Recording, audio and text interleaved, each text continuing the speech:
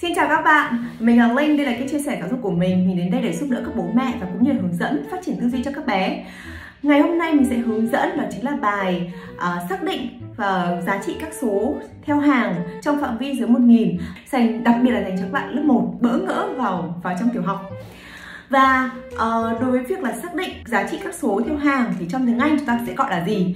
Đó chính là identify the place value of the numbers within one thousands. Và mọi người có thể nhìn hình ảnh ở bên này. Chúng ta sẽ thấy là có một bài ví dụ như sau.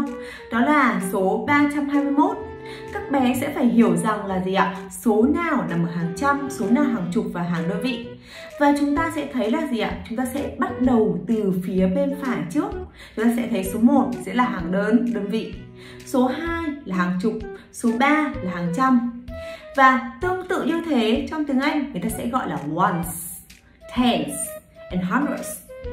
Lại ạ, ones, tens and hundreds. Và số 321 người ta sẽ đọc bằng tiếng Anh như sau. 321. Lại ạ, 321. Vậy thì sau khi đã xác định được rồi, bây giờ các bạn sẽ làm một bài tập nhỏ để xác định được là chữ số nào nằm ở hàng nào.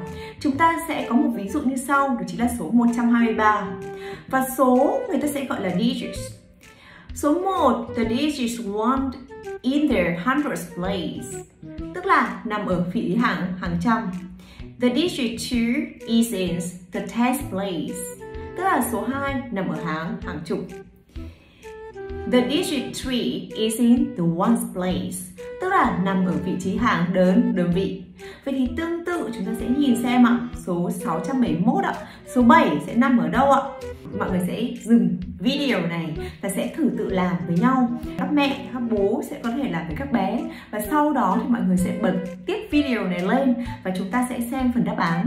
A few moments later. Chào các mẹ và các bé, mình lại quay trở lại đây và mình sẽ hướng dẫn một số các đáp án như sau. Ví dụ số 7 chúng ta sẽ thấy là nằm ở hàng tens place. 4 thì sẽ nằm ở hundreds place. 7 is in the ones place. And 3 is the hundreds place.